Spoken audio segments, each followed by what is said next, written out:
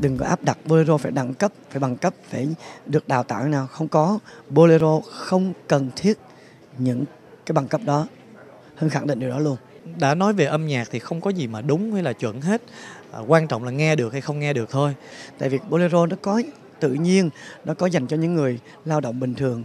Ai cũng có thể luyện và hát theo mỗi ngày mỗi ngày từ từ từ đó là vì sao có những cái người đăng quang, có những người tham gia cuộc thi mà họ làm những con sốt họ hát một cách rất tự nhiên, chân phương. Họ chỉ là một anh bán phở, một người lái xích lô thôi, một người lái xe ôm, một cô công nhân thôi.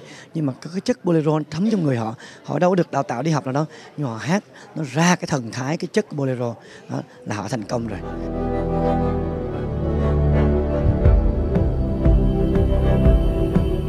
Bolero được được ờ, được làm rầm rộ lên là tại vì có những người có cái thành kiến với cái dòng âm nhạc này.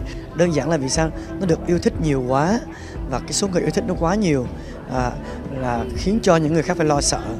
À, những dòng nhạc khác cảm thấy là mình không đủ sức để áp đảo lại cái cái sức mạnh này.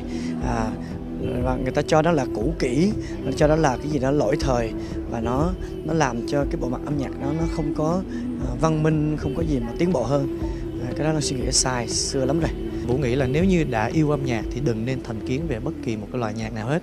Tại vì từ nhỏ Vũ đã mê những dòng ca từ cải lương cho tới uh, nhạc trữ tình cho tới nhạc sang, nhạc jazz, nhạc cổ điển, tất cả Vũ đều nghe hết và Vũ đều thấy tất cả các thể loại nhạc này đều có một cái điểm chung.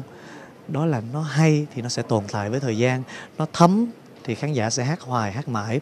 Nếu không thấm thì cho dù có được gọi là nó trên trời hay dưới đất gì thì nó cũng sẽ bị lãng quên theo thời gian mà thôi. Nên suốt đời tôi vẫn yêu cô đơn như tình nhân. Muốn khán giả trẻ đón nhận thì phải hát theo cách trẻ bây giờ.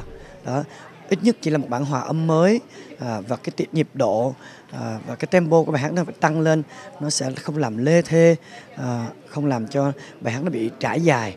Đó nó có sức sống hơn. Vũ nghĩ vũ là người đầu tiên hoặc là có thể là duy nhất mà hát những cái ca khúc này theo cái cái ờ, cái kiểu blue jazz. Mà cái kiểu blue jazz vũ hát không phải là cái kiểu mà hát để mà phô trương về kỹ thuật, hoặc là phô trương về mình hát, mình đang hát nhạc jazz.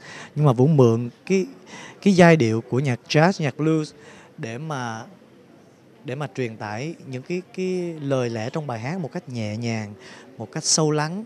Khán giả vẫn là người quyết định sau cùng nhé mình có làm mới cách mấy có làm hiện đại cách mấy hay mình có hát y chang kiểu cũ đó mà khán giả không đón nhận thì cũng chịu chết. Và nghe được hay không thì khán giả sẽ là người mà phán xét tốt nhất. Mà phán xét thì nó cần thời gian để mà thẩm định. Thôi thì ai nói gì thì cứ nói. À, quan trọng nhất là mỗi một khi một người nghệ sĩ à, sẽ làm được gì và để lại được gì cho âm nhạc cho sự nghiệp của mình và cho công chúng.